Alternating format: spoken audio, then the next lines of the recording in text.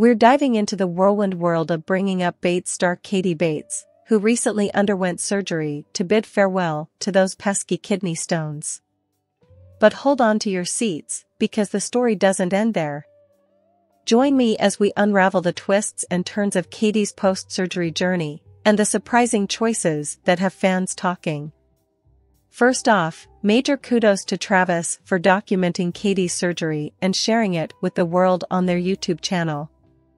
This 17-minute vlog takes us behind the scenes of Katie's hospital stay, even featuring their anniversary celebration in the midst of it all. Talk about turning a challenging situation into a celebration of love. Fortunately, the surgery was a success, and Katie bounced back quickly. But what happened next raised a few eyebrows. Just days after being sent home, Katie surprised fans by diving back into her social media side jobs. However, what caught some fans off guard was her latest endorsement, a drink supplement. The plot thickens. In her latest Instagram stories, Katie enthusiastically promotes the supplement, claiming her dad drinks it every single day. But here's where the concern kicks in. Some fans are worried that the promotion conflicts with her recent battle with kidney stones. Over on Reddit, the discussion heats up. Fans express genuine concern for Katie's well-being, questioning whether she has received clearance from her doctor to indulge in a supplement that's notably high in vitamin C, an element often advised against for those prone to kidney stones. For the sake of her health, I hope Katie has clearance from her doctor to drink AG1 right now. It's really high in vitamin C, which is often advised against for people who are prone to making kidney stones.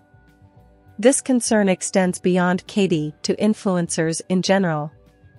Some Redditors point out the potential dangers associated with influencers promoting supplements and artificial drinks online, raising questions about whether Katie is fully aware of the possible consequences. Doubts emerge about whether Katie is genuinely consuming the promoted supplement or simply fulfilling a contractual obligation. Speculations arise, with one user stating, Am I the only one who doesn't believe influencers use half the crap they get deals for? She's just getting her money up, I'm sure. She's definitely under a contract. A lot of times these things are also filmed in advance and sent to the company for their approval before they are posted. I'm sure she's not drinking it if she shouldn't be. Adding another layer to the narrative, some Redditors recall Katie's picky preferences when it comes to food and drinks. One user even mentions that the promoted supplement doesn't taste great, leading to doubts about Katie consuming it regularly.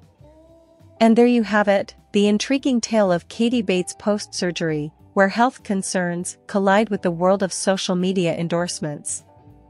What are your thoughts on this unexpected twist?